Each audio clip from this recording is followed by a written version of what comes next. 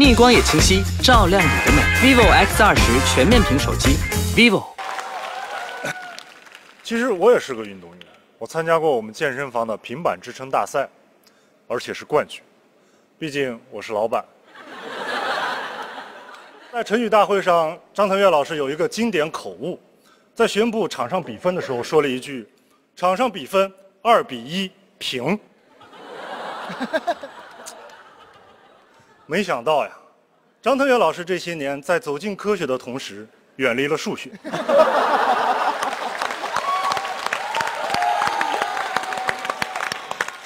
黄健翔老师啊，体坛马景涛。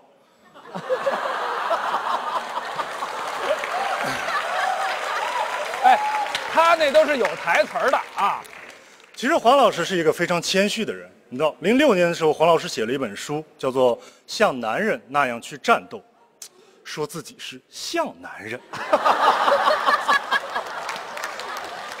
太客气了，黄老师啊，我觉得你很可能。Hello，大家好，占用大家几秒钟，我是瘦身营养师依依，我已经帮助上千位网友通过不节食、不运动、健康有效的方法减肥成功。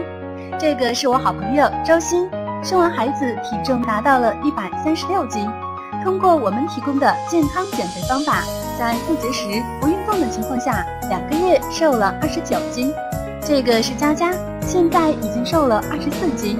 还有陈先生也已经成功减肥，一个月瘦了十九斤。如果你也想减肥，又找不到适合自己的方法，请加我微信 a c 幺幺九八七六。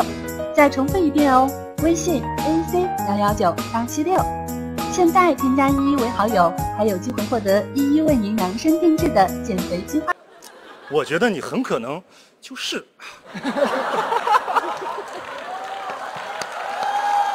黄老师，当年一时冲动，黄老师离开了解说岗位，是吧？最近又写了一本书，叫做《足球根本不是圆的》。你看看，太久没有工作，业务已经生疏到了这种程度。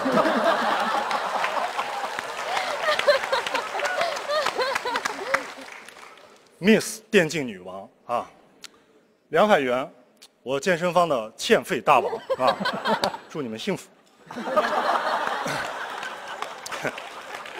其实，其实我真的很羡慕 Miss 他们，对吧？现在游戏玩得好都叫电竞，我们那时候就叫沉迷。哎，我还听说冯潇霆也特别喜欢打游戏。我觉得冯队，其实你的世界杯梦想完全可以在游戏里实现，对吧？你看，游戏里没有年龄和伤痛的限制，最关键的是，在足球游戏里，你可以用巴西队。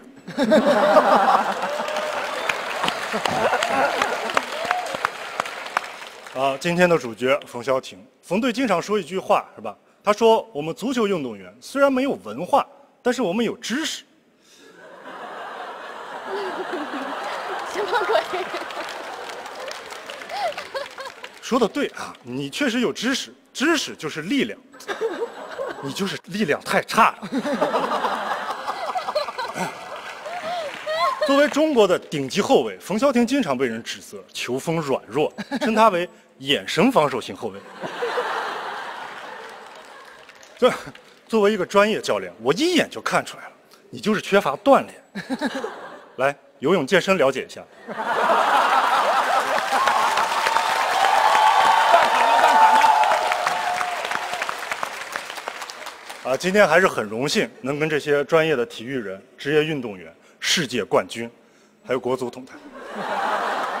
我真的有一个当运动员的梦想，真的。我觉得一个运动员永远不会满足自己过去的成绩，那么他们只关注当下，不断的去突破自己的极限，或是球迷的底线。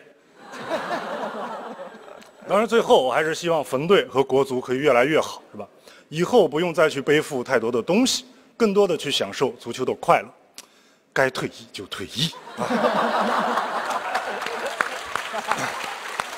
退役了也可以为国效力，对不对？足球运动员退役了可以当教练嘛？我们健身房就很缺教练，啊，你到时候来了可以给海源上那节私教课啊。当然不退役也没有关系，我可以给你上私教课，带你举铁，提高身体素质，对吧？毕竟留给中国队的时间不多了。好，谢谢大家，我是 Rock。